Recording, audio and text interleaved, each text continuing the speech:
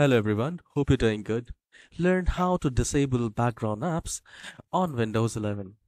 So if you're tired of your Windows 11 PC slowing down, background apps can consume CPU, memory, and battery life and making your PC sluggish. But today, we will show you how to take control and disable those pesky background apps, freeing up resources, and in just few click you will learn how to identify and disable background apps. So let's dive in and boost your PC performance. So here in the start icon, just do a right click and then go to settings. And at the left hand side, we need to go to apps.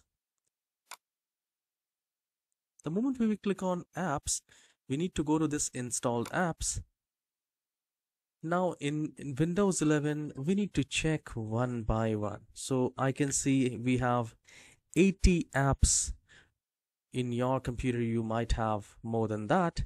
However we need to go one by one and click on this three dots go to advanced option and here we can under background apps permission you can power optimize or you can select never. So for this i can simply go with uh opt power optimize that will be fine. And if you want it never you can do that now in the same manner I'll just click on back at the left hand side and not most of the applications will have the options so you can see in the virtualbox or oracle this doesn't have the um, advanced option. So here as well for the clipchamp we have the advanced option.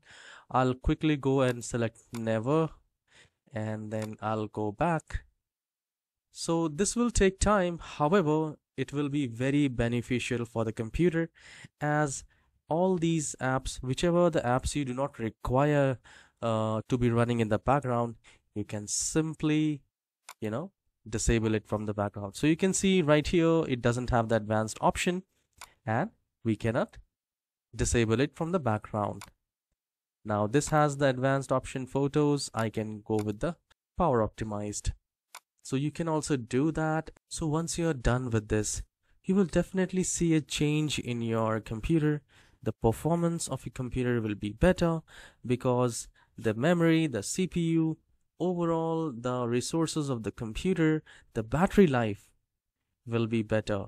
And if your pc was sluggish it will be better as well do let me know in the comment section whether this tutorial is helpful or not. I'll be glad if you do so. And please hit the like and subscribe. I'll see you in the next video. Have a wonderful day